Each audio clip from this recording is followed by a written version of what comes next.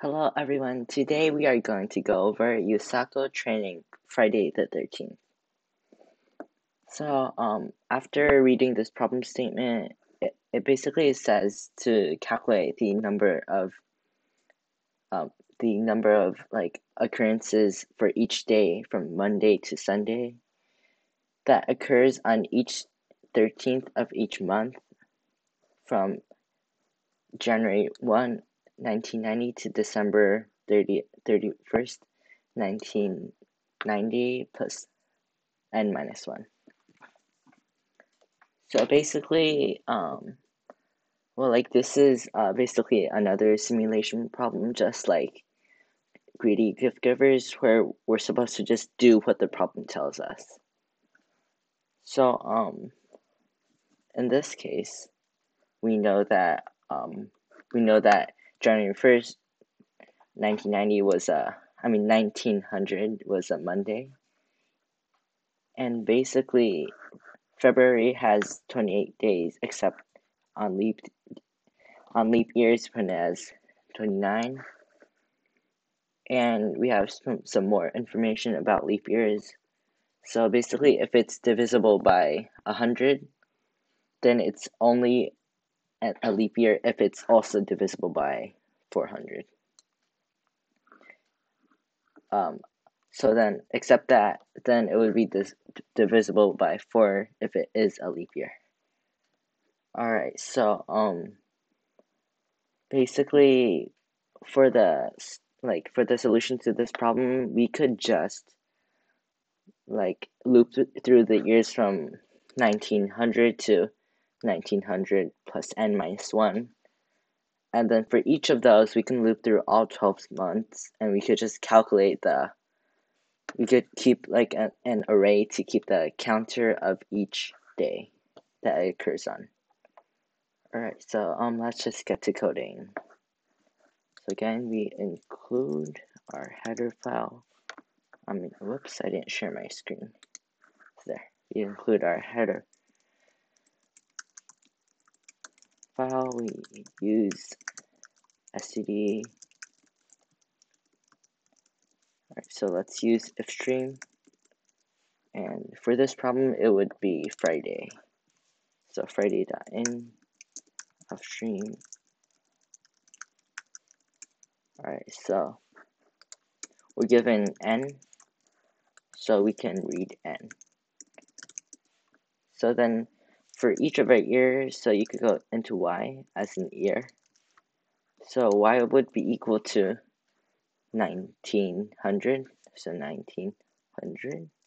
y would be less than or equal to 1900 plus, plus, um, it would be plus n minus 1, so plus n minus 1. So every time you would increment your ear. Alright, so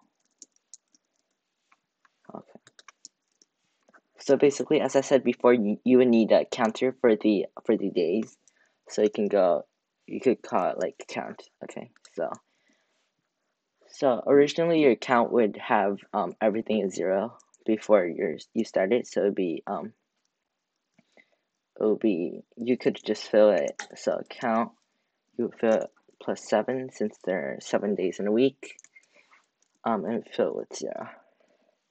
So then um, we basically would want to keep track of the current day.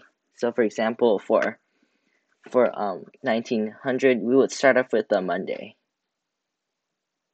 because um, it starts on there. So let's just say um, Monday is 0, Tuesday is 1, Wednesday is 2, and dot dot dot. So then you can go like current day. So originally current would be equal to 0 as in a Monday. Okay, so now basically we need to loop through for each month. So you can for int m as in as in um month. So it would be equal to um let's just say from uh January to December. So basically there would be twelve months, so m would be less than equal to twelve and then each time you increment it. Alright, so um so let's just say we, we also need an array for the number of days in each month. And we can also just count our leap years afterwards. So go like int month, uh, it'll be size 12. It'll be, so in January there are 31 days. In February there's a base for 20, uh, 28 days. So then you would add 1 to Feb if leap year. In March, there are 31 days. In April, um, there's 30 days. May 31, June 30. Um, July 31, August 31, September 30, uh, 31 for October, 30 for just for November, and 31 for December. Alright, so basically,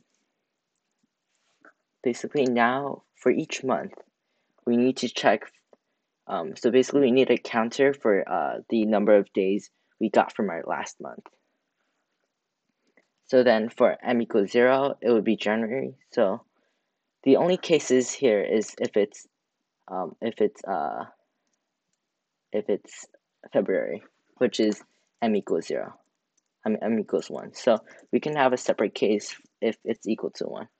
So now, um, since this is February, we can just determine if it's a leap year. So if it's a leap year, then we also add like 1 instead of the normal, the normal like month day. So we have to check like if leap year, leap year of y, which is the year. If it's 1, then you would, then um your current would be equal to your current, because we're doing it for the next month. So it would add the month of m plus 1. Because the plus 1 is from from because it's a leap year. So then you would also by 7 because basically repeats. So if it's not this, you, you would just take out the plus 1 because it's just normal year. And if it's also not this, you would just um you would do the same thing as if it's not a leap year. So now we need a function to calculate if it is or is not a leap year. So this should be a boolean function. So our input or parameter is the year. So y, it's year. Okay, so now we're given a few cases. So if it's divisible by 100, if it's divisible by 100, then it's it's a leap year only if and only if it's also divisible by 400. So if y is um if a mod 100 if it's equal to 0 then we return if it's also divisible by 400 if it's not that then it has to be divisible by 4 Alright, so now we're done with that. So now all we need to do is count the number of, like, basically, like, increment our, our count. Oh, yeah, and this should be 7 because it's an array. Alright, so over here, so for the, um, for the first, uh, for the first month, it would be January 1st, 1900, and it was a Monday. So then if it's 13th, then you would basically add 12 days. So then over here, you would also add 12 days to the current day. So you would go count of current plus 12 mod 7 because it repeats from Monday to Sunday. It would it would just increment. So now what do we need to output? Oh, so we needed output from um, from Saturday, Sunday, Monday, Tuesday. So um so basically from uh, Saturday the index for Saturday is 5 so we can go from for int i equals 5 i must be less than 7 i plus plus then we print our count and we do this because um we do this because uh right now our uh, our our um count it's it's from Monday to Sunday, but here they want us from Saturday to Friday. So now this is basically Saturday to Sunday. I mean Sunday and from and then we want it from Monday and then we would just print it. Then this would be Monday to Friday.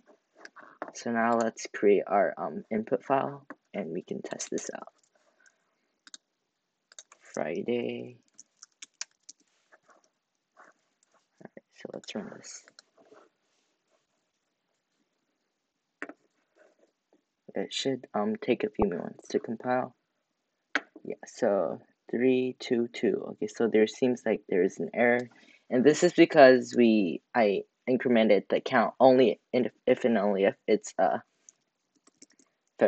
if it's February, so we should actually put it out here, and we should also write it to the file instead of putting it in a standard output stream. Let's run it again. Alright, so it should be in here. 36, 33, 34, 33, 35, 35, and 34. So that seems correct. And when you also when you submit it on uh, USACO training, I think there may be like an error if you print like an extra space or an extra new line. So just watch out and also just put um your login ID with along with your language and problem ID for this. Yeah, so um that's it for this video. If you have any questions, feel free to leave your comments in the comment section below. Thank you.